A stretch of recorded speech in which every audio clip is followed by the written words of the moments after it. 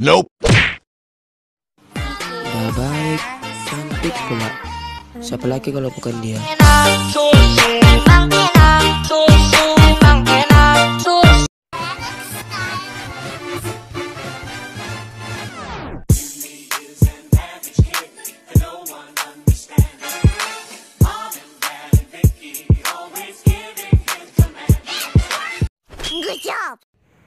Oke cuy, di sini kita udah sampai di aplikasi KinMaster. Lalu di sini kalian klik yang ini. Kalian klik yang 9 banding 16. Kalian masukin eh, video Free Fire yang telah kalian record. Contohnya seperti ini.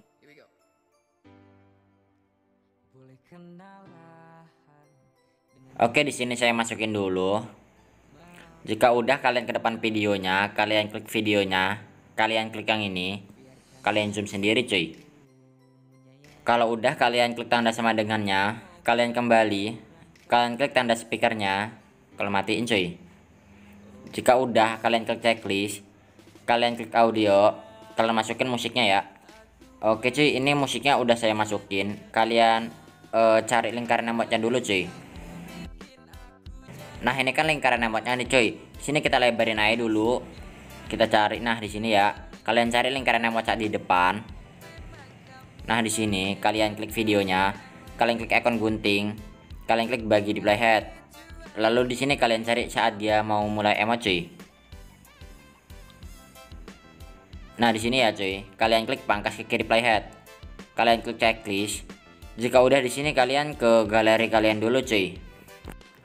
Oke cuy, di sini kita udah sampai di galeri. Kalian klik edit, kalian klik potong, kalian klik rasio, kalian pilih yang 9 banding 16 di sini kalian pasin. Jika udah kalian klik checklist. Kalian klik selesai. Oke untuk hasil fotonya nanti seperti ini ya tegak lurus. Oh ya yang mau minta fotonya ini kalian bisa langsung ke instagramnya kak Cimbrut cuy. Jika udah di sini kalian kembali ke aplikasi KinMaster ya. Oke cuy, di sini kita udah kembali ke aplikasi KinMaster ya. Di sini kita play dulu ya cuy untuk mencari beatnya ya cuy.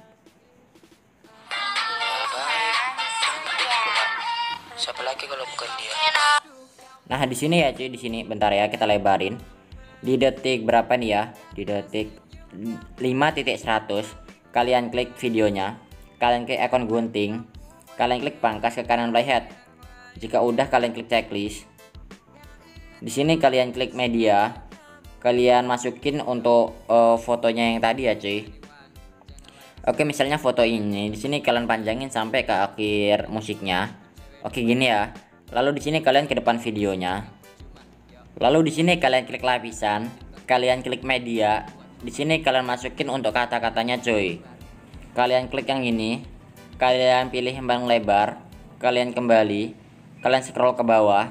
Kalian cari namanya menyampur, kalian klik. Lalu di sini kalian klik layar. Kalian klik checklist.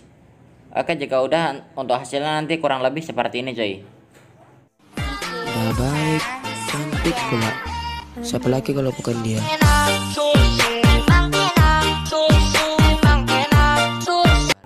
Oke untuk hasilnya nanti seperti itu ya cuy. Lalu di sini kalian klik ekspor. Kalian pilih yang 720p, kalian klik ekspor. Dan di sini kalian tunggu di aplikasi Alec Motion cuy. Oke cuy di sini kita udah sampai di aplikasi Alec Motion. Kalian klik tanda plusnya. Kalian pilih yang 9 banding 16. Untuk pengaturannya kalian bisa ikuti yang punya aku. Kalian klik buat project. Kalian klik tanda plusnya. Kalian pilih foto dan video kalian masukin uh, video yang barusan kalian ekspor tadi kalian klik titik tiga di pojok kanan atas kalian klik ekstrak audio di sini kita tandain bitnya untuk tanda bitnya sendiri itu ini cuy oke di sini saya masukin dulu ya oke cuy di sini uh, bitnya telah saya masukin. Kalian ke depan videonya. Kalian klik yang ini. Kalian klik videonya. Kalian klik yang ini. Kalian klik yang ini. Kalian klik videonya. Kalian klik yang ini. Oke lakukan kayak gitu ke semua tanda bitnya oke cuy di sini untuk bitnya telah saya potong-potong. Lalu di sini kalian ke potongan kedua ya. Ini kan potongan pertama. Di sini kalian ke potongan kedua ini. Kalian klik. Kalian klik efek. Kalian klik tambahkan efek di sini kalian masuk ke move atau transform. Kalian tambahin yang namanya itu oscillate atau ambang ambing. Kalian klik. Angelnya kalian ubah menjadi 0 untuk frekuensinya di sini kalian ubah menjadi 3,34 kalian buat kunci. Kalian tahan kuncinya pojokin sebelah kiri.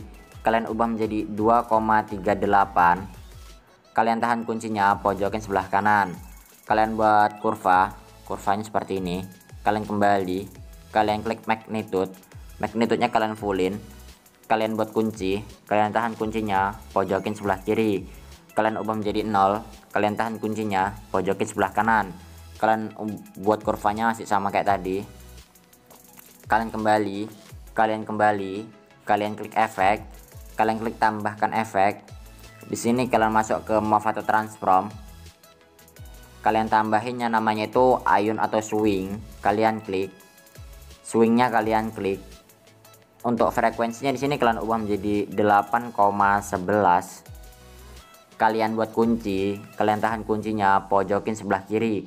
Kalian ubah menjadi 0 kalian tahan kuncinya pojokin sebelah kanan. Kalian buat kurva kurvanya kayak gini. Lalu di sini kalian kembali kalian klik angel satunya. Untuk angel satunya di sini kalian ubah menjadi positif 6 atau yang mendekati kalian buat kunci kalian tahan kuncinya pojokin sebelah kiri. Kalian ubah menjadi 0 ya. Kalian tahan kuncinya pojokin sebelah kanan. Kalian buat kurva. Untuk kurvanya tuh seperti ini.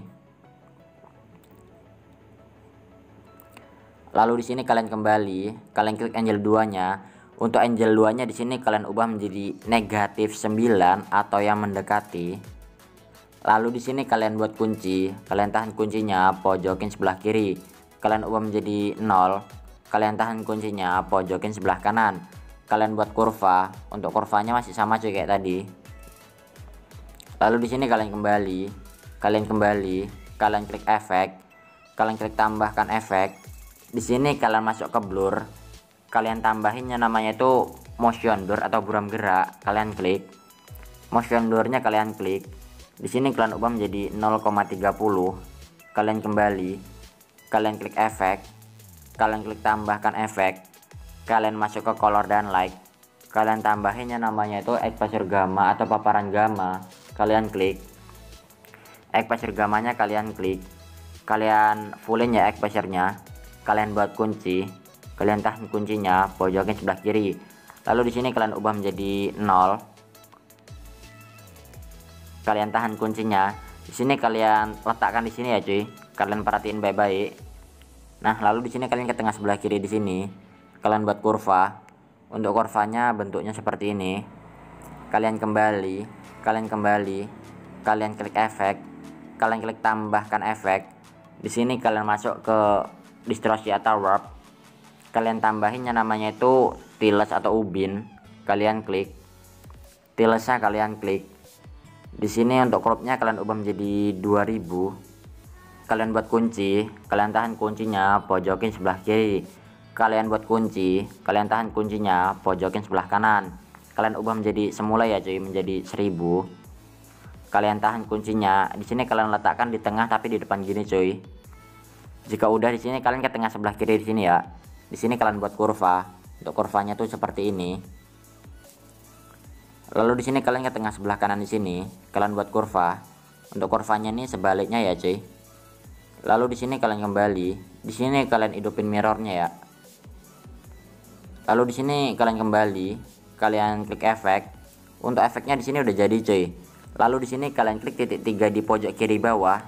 Kalian klik copy efek sini kalian kembali. Kalian kembali. Di sini saya beritahu cara nempelin efeknya ya. Di sini kalian ke video selanjutnya. Kalian klik. Kalian klik efek.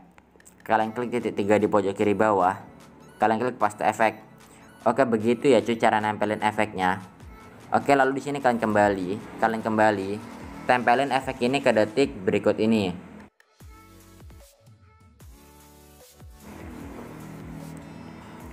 Oke cuy di detik berikut itu tadi ya cuy. Lalu di sini kalian ke paling depan videonya. Di sini kan untuk uh, potongan yang pertama tadi belum kita kasih efek ya. Kalian klik efek. Di sini juga kalian tempelin cuy lalu di sini kalian klik tambahkan efek. Di sini kalian masuk ke opacity atau visibility. Kalian tambahinnya namanya itu blink atau berkedip. Blinknya kalian klik. Di sini kalian fullin lalu di sini kalian kembali. Kalian klik efek.